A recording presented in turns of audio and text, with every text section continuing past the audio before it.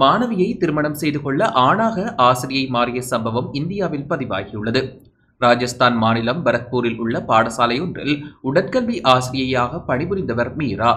பாடசாலையில் உடற்கல்வி வகுப்புகளின் போது மீரா மாணவி கல்பனாவை சந்தித்துள்ளார். அப்போது அவர் கல்பனா மீது காதல் கொண்டார். பள்ளிக்காதல் நீண்ட ஆண்டுகளாக தொடர்ந்த நிலையில் கல்பனாவை திருமணம் செய்து கொள்ள தான் ஆணாக மாற மீரா பாலின மாற்று அறுவை சிகிச்சை செய்து கொண்டுள்ளார். காதலில் எல்லாம் நியாயமானது. அதனால் தான் நான் என் பாலினத்தை மாற்றிக்கொண்டேன் என ஆணாக மாறி ஆரப் என பெயர் மாற்றிக்கொண்ட மீரா தெரிவித்துள்ளார். மேலும் ஆரப் கூறுகையில் நான் பெண்ணாக பிறந்தேன். ஆனால் நான் எப்போதும் ஒரு ஆணாக இருக்கவே விரும்பினேன். இதற்காக பாலினத்தை மாற்ற அறுவை சிகிச்சை செய்து கொள்ள திட்டமிட்டேன். கடந்த இரண்டாயிரத்தி பத்தொன்பதாம் ஆண்டு டிசம்பரில் எனது முதல் அறுவை சிகிச்சையை செய்தேன் என தெரிவித்தார். இதுகுறித்து கல்பனா கூறுகையில் நான் அவரை ஆரம்பத்திலிருந்தே விரும்பினேன். அவர் இந்த அறுவை சிகிச்சை செய்யாவிட்டாலும் நான் அவரை திருமணம் செய்திருப்பேன். அறுவை சிகிச்சைக்கு அவருடன் சென்றேன் என தெரிவித்தார்.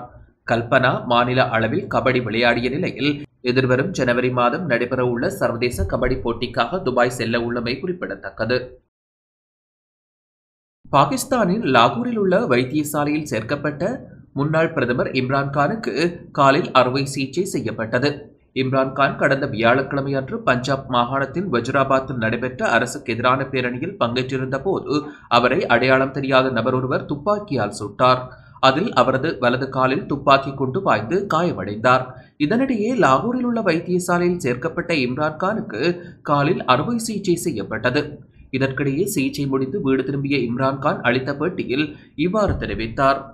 எனது வலது காலில் இருந்து மூன்று குண்டுகளை எடுத்தனர். இடது காலில் சில துண்டுகள் இருந்தன. அதை அவர்கள் அப்படியே விட்டுவிட்டார்கள். என்னை கொல்ல சதி நடந்தது பற்றி புலனாய்வு அமைப்புகள் மூலம் எனக்கு தகவல் கிடைத்தது. மூன்றரை ஆண்டுகள் நான் ஆட்சியில் இருந்ததை நினைவில் கொள்ளுங்கள். உளவுத்துறை அமைப்புகள் பல்வேறு அமைப்புகளுடன் எனக்கு தொடர்பு உள்ளது. எனக்கு எதிராக கொலை சதி இரண்டு மாதங்களுக்கு முன்பே உருவானது. நான் பதவி நீக்கம் செய்யப்பட்ட போது இது தொடங்கியது. அன்று முதல் எனது கட்சி உடைந்துவிடும் என்று எதிர்பார்க்கப்பட்டது. ஆனால் அதற்கு பதிலாக எனது கட்சிக்கு மகத்தான ஆதரவு கிடைத்தது என இம்ரான்கான் தெரிவித்தார்.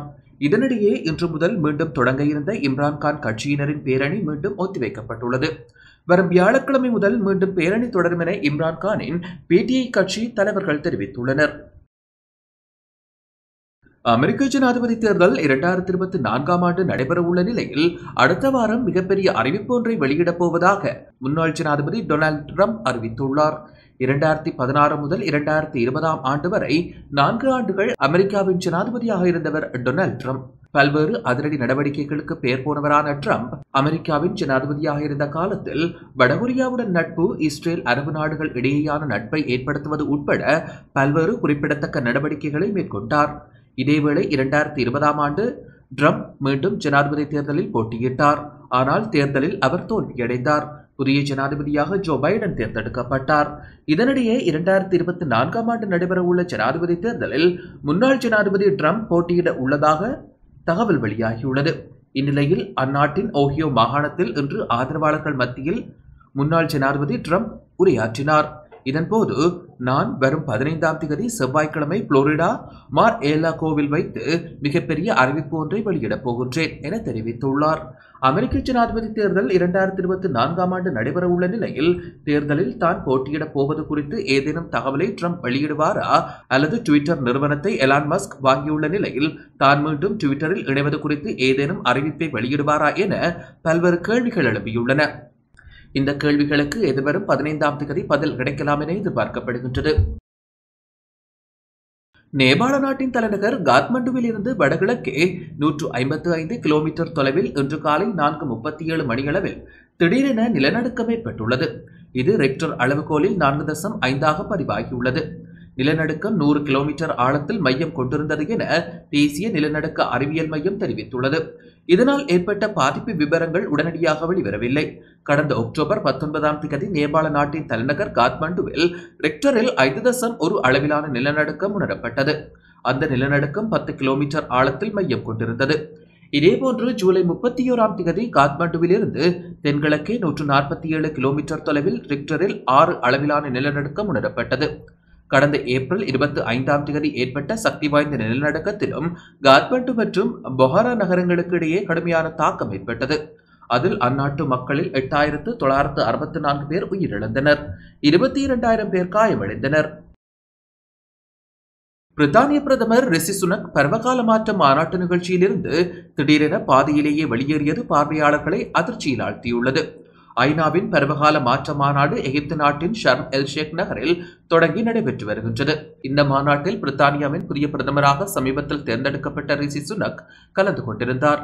அவர் கிளாஸ்கோ பருவகால ஒப்பந்தம் பற்றி உரையாற்றுவதுடன் பிற நாடுகளையும் அதிலிருந்து விலகாமல் வாக்குறுதி அளித்ததன்படி அதனை பின்பற்றும்படி வலியுறுத்துவார்.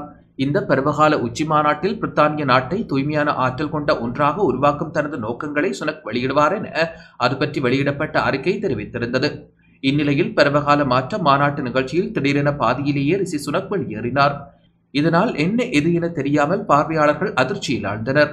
இது பற்றி பிரித்தானிய நாட்டை சேர்ந்த ஹார்பன் ஃப்ரீப் அமைப்பின் இயக்குனர் லியோ ஹிக்மேன் வெளியிட்டுள்ள டுவிட்டர் செய்தியில் பருவகால மாற்ற மாநாட்டின் மத்தியில் பிரதமர் ரிஷி சுனக் பாதியிலேயே நிகழ்ச்சியில் இருந்து வெளியேறி உள்ளார் என தெரிவித்துள்ளார். தொடர்ந்து அவர் கருத்து வெளியிடும் போது சுனக் மேடையில் பேச தயாரான போது அவரது உதவியாளர்கள் மேடைக்கு வந்து அவரிடம் ஏதோ கூறியுள்ளனர். ஏறக்குறைய ஒரு நிமிடம் வரை உதவியாளர் ஒருவர் ரிஷி சுனக்கின் காதில் ஏதோ முணுமுணுத்தபடி காணப்பட்டார். இது பற்றி அவர்கள் ஆலோசித்தது போல் தெரிகின்றது. மேடையில் இருந்து செல்லலாமா அல்லது வேண்டாமா என்பது போல் அவர்கள் காணப்பட்டனர். எனினும் தொடர்ந்து மேடையிலேயே சுனக் நின்றார். இதனைத் தொடர்ந்து மற்றொரு உதவியாளர் உடனடியாக மேடைக்கு சென்று உடனே வெளியேறி செல்லும்படி சுனக்கை வற்புறுத்தி அவரை அழைத்துச் சென்றார் என ஹிக்மேன் தெரிவித்துள்ளார். இந்த மாநாட்டின் பாதியிலேயே ரிஷி சுனக் வெளியேறிய போதும் அதற்கான தெளிவான காரணம் எதுவும் வெளிவரவில்லை. இதனால் உலக நாட்டு தலைவர்கள் பலரும் கலந்து கொண்டிருந்த இந்த மாநாட்டில் பார்வையாளர்கள் மத்தியில் சிறிது நேரம் சலசலப்பு ஏற்பட்டது.